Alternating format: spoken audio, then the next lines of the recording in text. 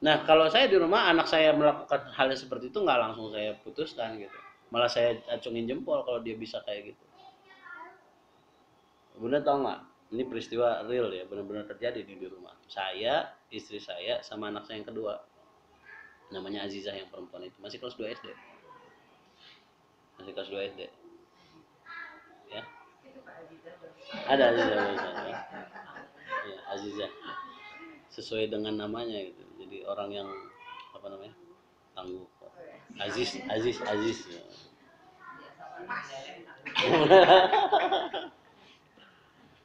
Jadi gini kejadiannya itu. Jadi saya lagi bertiga nih. Lagi pulang sekolah gitu bertiga. Itu saya lagi makan siang-siang gitu. Nah, lagi ngumpul begitu, tiba-tiba dia bisik-bisik ke bundanya. Jadi dia deketin mulutnya ke telinga bunda ditutupin begini. Seakan-akan biar saya nggak dengar kan. Dia bisikin. Terus saya langsung ngomong gitu. Eh eh, perasaan ayah udah pernah ngingetin belum ya? kalau di sebuah tempat ada lebih dari dua orang nggak boleh bisik-bisik gitu saya bilang langsung dia pasti gini dia dia ngelirik ke saya gitu oh gitu ya ya yaudah ya pergi aja dulu gitu gitu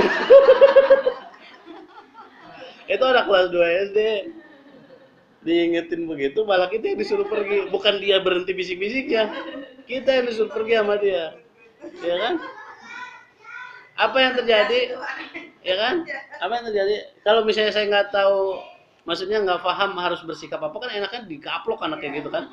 Udah diingetin malah malah kita yang diusir gitu dia.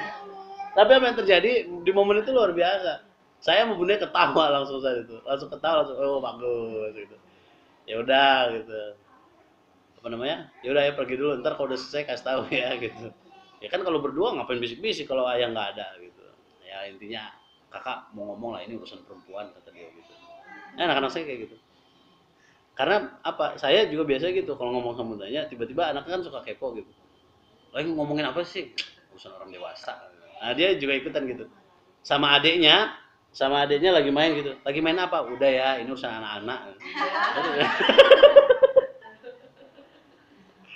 nah kayak gitu anak-anak kita kayak gitu ya udah nggak apa-apa kadang-kadang tidak kurang dihargai sama orang-orang tua Iya gitu. Kalau saya pas gitu udah langsung wah bagus banget, pinter berarti ya gitu. Jadi biar nggak bertiga harus dikurangin satu ya gitu. Kita gituin aja gitu nggak apa-apa. Gitu.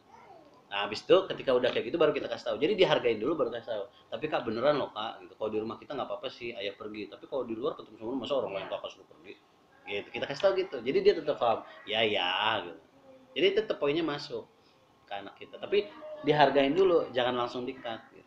Nah ini anak-anak dulu begitu apa namanya kemampuan berargumentasi bahasa sekarang tuh debat kali ya gitu lebih positifnya argumentasi lah mengemukakan pendapat ketika dia tahu apa yang dia yakini dia berani menyampaikan ini poin bagus banget buat anak kita gitu. kenapa berapa banyak orang hari ini yang kemudian jadi orang nggak enakan nggak berani menyampaikan pendapat ada perasaan-perasaan diempet sendiri ya kan? Jadi penyakit buat dirinya sendiri. Kenapa? Nggak berani mengungkapkan pendapat. Nah anak-anak kita perlu.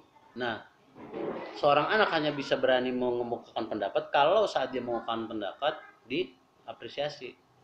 Termasuk kita di kelas ketika kita bertemu dengan peserta didik kita dengan anak-anak kita apa pun jawaban mereka ya kalau saya biasanya kalau ngajar apa pun jawabannya nggak ada yang salah buat saya. Bagus semua udah bagus aja. Anak-anak gitu. Jadi pede ngejawab tuh pede. Gitu. Jadi kita bilang oh bagus.